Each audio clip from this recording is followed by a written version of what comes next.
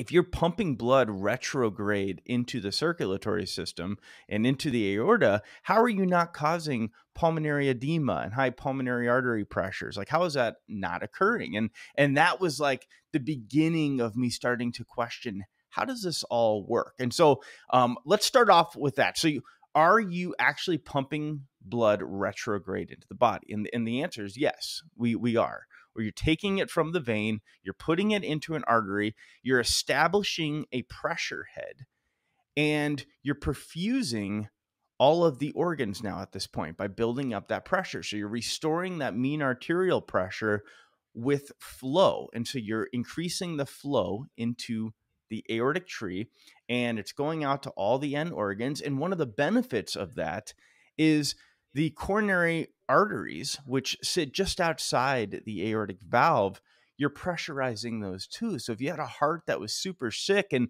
just couldn't build up enough pressure, enough coronary perfusion pressure to get going, uh, after you put them on ECMO, you'll start to see that inotropy improve. You'll start to see the heart beating again. And so that was one of the first things that I had to wrap my head around is you're not actually pumping blood backwards through the heart. The aortic valve is is supposed to stop that. That's supposed to create the closed circuit there.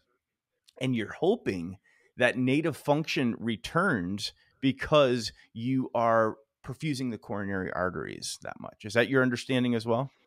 Yeah, exactly. And you bring up a great point, which actually is really interesting. If you ever had the opportunity to see a patient be placed on ECMO, uh, for whatever underlying cause it is, whether it's a pulmonary embolism or, or severe cardiogenic shock, um, or whatever, as soon as they place them on ECMO, everything seems to uh, to settle down incredibly quickly in a number of cases. Their pressure requirements decrease, um, their ventilator requirements decrease. They start removing CO two, um, and it's really really interesting to watch just how quickly that change happens once they're placed on pump.